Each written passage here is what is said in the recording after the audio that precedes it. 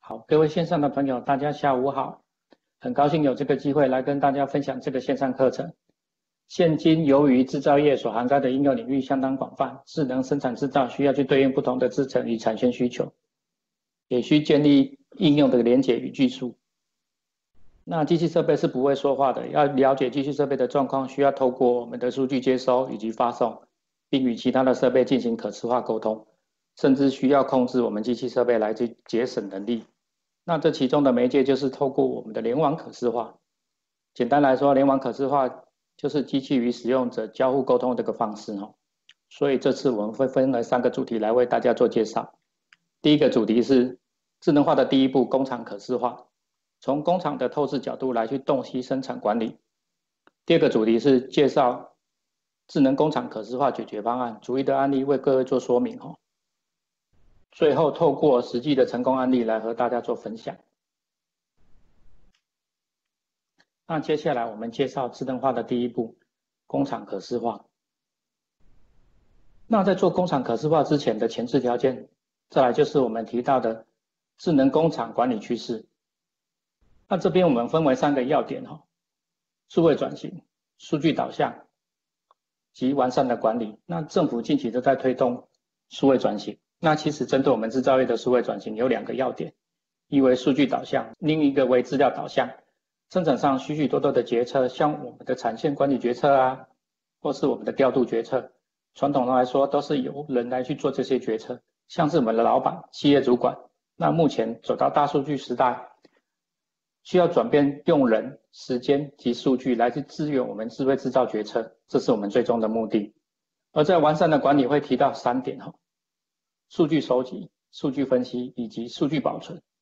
那首先我们前面提到，我们要做到数据导向的话，就是要完好的数据源，那就是要仰赖我们的数据收集。那收集之后，我们要进行一个分析，分析出来的数据呢，管理者可以适当的使用这些数据来进行管理。那分析数据完以后，要做一个良好的保存，方便我们日后 review 产线效能提供一个依据，或者决策时做一个分析应用哈。那接下来谈谈为何需要打造透视化工厂。先进制造业大量布局自动化，希望去取代我们这个人力，并掀起无人化工厂、关灯工厂的风潮，来去节省我们人力的部分。那在及时掌控的部分呢，首先就是要了解我们的设备。而在自动化科技发展中，设备也持续的进行优化更新，越来越多的整合进进阶的技术应用。那针对我们不同厂区长时间的设备运作所需要的监量检测数据的一个功能，我们需要规划完整的一个量测流程哈。因此需要去搭配不同的一个形态的一个机器，并依据厂区需求的规划来去传送我们的资料方式至我们的一个厂区主机，来去达到及时发动警报，并完成监控厂区的一个系统与设备。那在工厂管理的部分呢，智慧制造需要去发展我们这个一个垂直整合，所以在工厂管理部分将去面面临我们的 IT 的一个架构、应用系统的一个议题。那除了将 IT 的预算放到我们维护机台系统外，一旦要发展数位转型以及智慧制造时，要为内部的人才做培训啊，而透透过我们的垂直整合的资讯，可以快速的让人员上手，优化制程与资源决策的部分。数据的应用是我们台湾中小企业所面临的一个共同现象。老员工的比重比较高，对于数字的敏感度比较低。即便做了一个现场的一个资讯数位化，能会因为员工的一个知识不足，然后导致我们的导入困难哈。那因为老师傅的决策全凭依过往的一个经验累积，缺乏我们数位化的一个分析与逻辑哈。而不同的师傅经验就有不同的落差，所以除了难以验证外，也会耗时耗时间哈。那借由我们这个知识化透明管理，来去提升优化我们这个制程，支援我们的决策能力哈。在产业转型的部分，其最终的目的就是我们产线要自动化，提高我们一个制程效率的可靠度。那工厂管理与控制的最佳化，所以在我们的数位联网的部分，也将去决定我们的一个厂区转型，智慧工厂是否成功的一个因素哈。而在可视化导入的进程，我们是借由我们的公共软体来去做一个导入，帮助我们不同阶段的一个推进哈。那在导入前，会对我们各式设备以及数位做一个数据调研，并进行我们这个通讯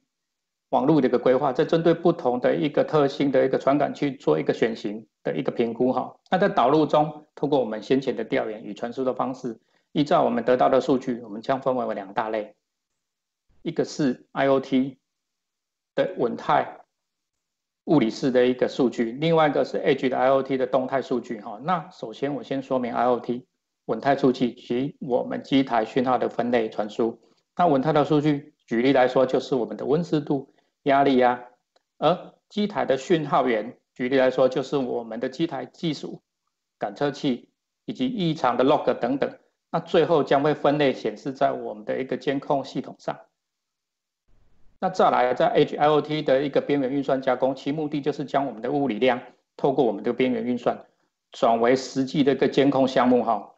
那例如，当我们攫取我们的温度讯号时，实际上使用者想看到的是温差。以及温度下降的速率，而边缘运算的讯号加工是指将巨量的一个数据简化，在经由转换后变成使用者真正想看的一个结果，并可借由此结果来去设定一个门槛，进一步来去优化我们的一个管理。而在导入后，在工厂的安全性管理上必须做到智慧化，并提供决策资源。既能将可视化的数据透过我们的一个监测系统的判断以及警示，达到我们实时了解数据与分析。那远端监测的结果记录这些数据来去优化我们参考依据哈。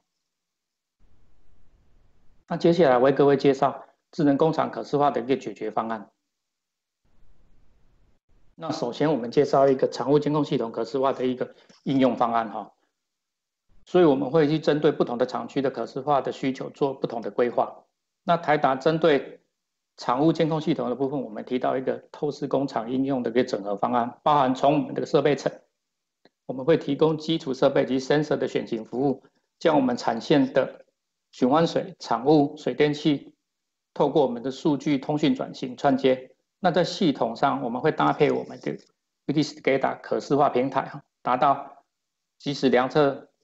资料收集、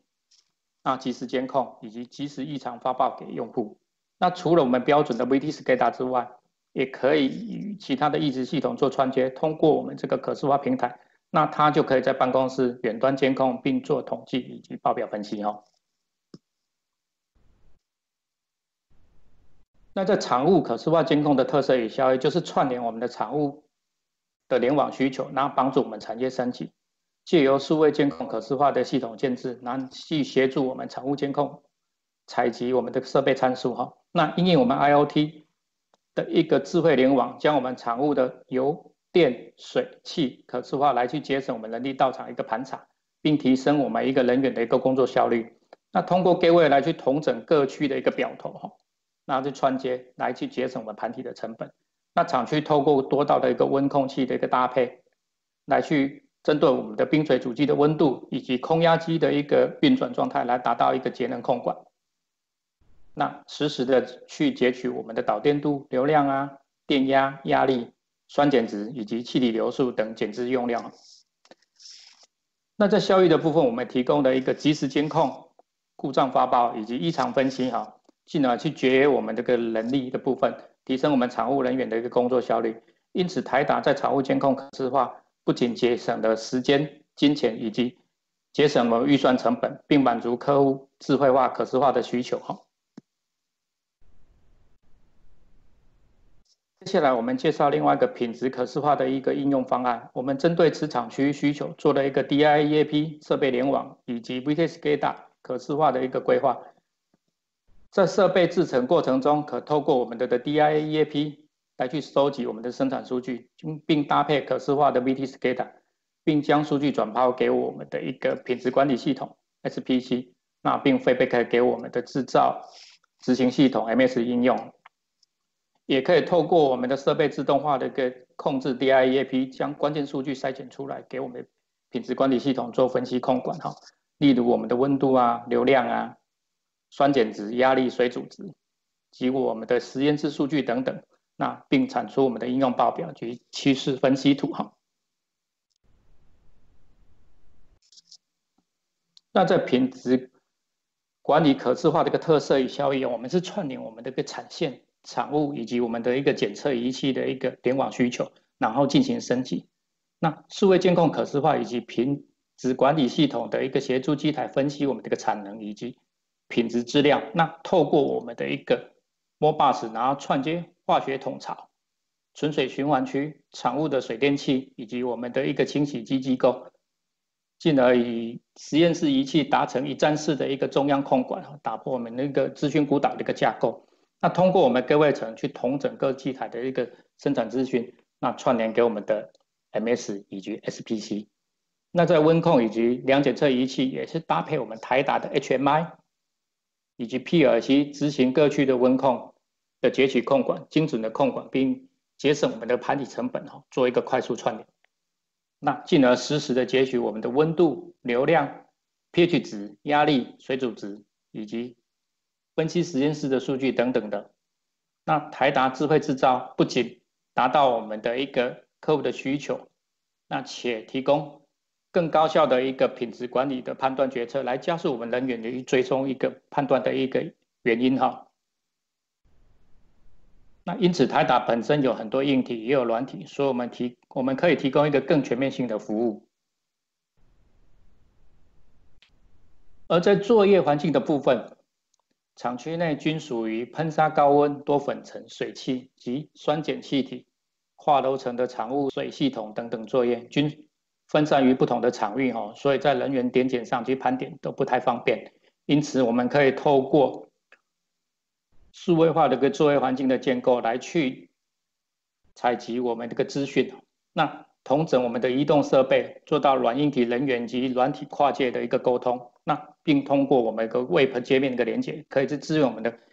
平板啊、电脑啊、手机啊各种联网装置来去监控盘查，那进而可以互动式的操作，以及我们厂区若若有外籍人员，可以去切换多国语系进行不同的一个语言呈现哈。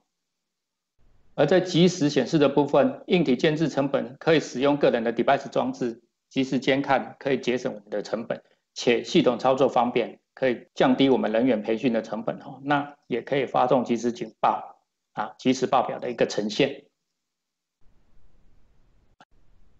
而在监控最主要的目的就是将我们的一个巨量的一个设备资讯，透过我们的传感器的一个收集，也就是将我们大量的物理资讯。透过我们的运算转为我们实际的监控项目，并以边缘运算的方式，人工智慧或是我们的一个机器学习，将实际的监管数据自行设立门槛，且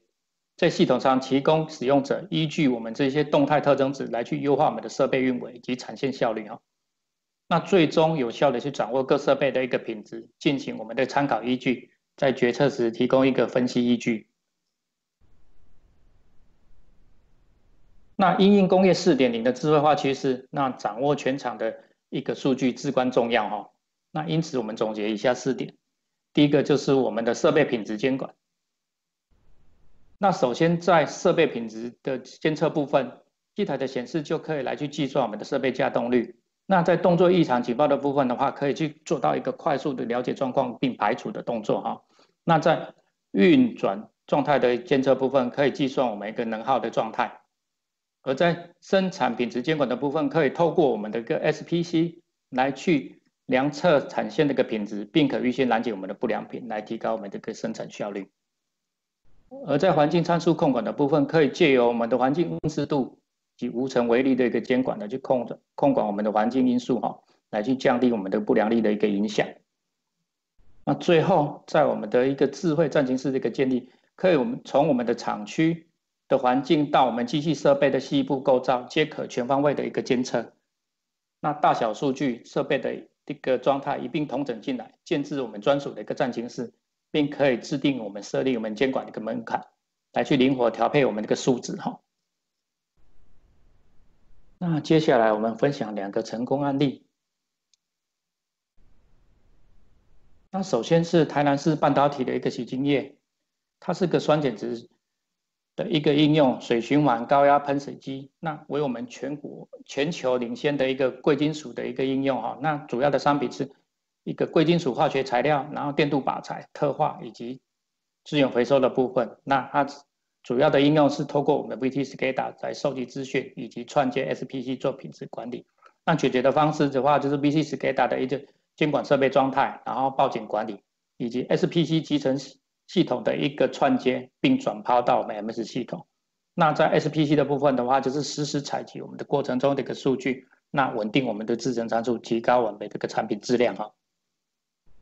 那另外一个的话，就是我们蓝科的一个化工材料厂，那它是执行我们的厂间以及污水循环，那主要的是半导体研磨以及高技能的一个铜箔生产，那它导入我们的 SCADA 应用，那解决的它的厂区的一个数位电表啊。或者产物端的油电水器的监控、超规的预警以及运转状态的一个监测等等，那它解决一个好处就是降低我们厂务人员的一个配置，然后提升我们的一个生产力。那接下来我们来分析导入前后的一个效益比较哈。那在导入前是以纸本作业来去掌控我们的问题，那除了纸本作业以外，很难去做一个保存，所以在阅读上也很困难，甚至很难去维护。那我们在导入后的话，加动率我们可以透过是未来去监管，并提高我们的控管效率哈。那在生产调度的部分的话，就会耗费许多这个时间进行沟通，少了我们数位化这个调度，然后就是矿路费时。那整合之后的话，就是现有的设备、原物料、人员统一的数据控管，生产排程可以清楚的一个掌控哈。而在传统的这个产销的生产上，常常会发生问题，那我们就要进行一个检讨。那一堆人常常拿着纸本文件进行讨论，缺东缺西，会搞得人仰马翻。那在导入后，大家只要看着荧幕或投影设备，就可以有效率进行会议，所有的产况就问题就可以及时掌控。而在报表管理上，人员的一个收集很困难哦，也分析也不容易，也要花费很长的时间。那么在导入后，我们资讯可以集中管理，并可自动的产出一个数据报表。那在工业四点零的部分。是一个很繁琐的一个大工程哈，那许多制造业搞了好几年，可能都还摸不着头绪哈。那在导入后，我们可以为我们的制造生产做好万全的一个前导准备哈。那接下来导入后，我们所提供一个价值，当我们有异常警报发生的时候，可以透过我们这个 mail 啊或 night 的一个发报及时通知，而在提升效率的部分，可以去节省我们一个时间。提取我们重要的数据哈，只看你想看的一个资料以及 report 的一个报表或者趋势分析图。那再来依据我们那个制定门槛的一个监控项目，可以去控管维持我们一个品质的稳定度哈。那最后在数据优化的部分，可以去聚焦问题，提供我们一个优化决策。那我的报告到这里，谢谢大家。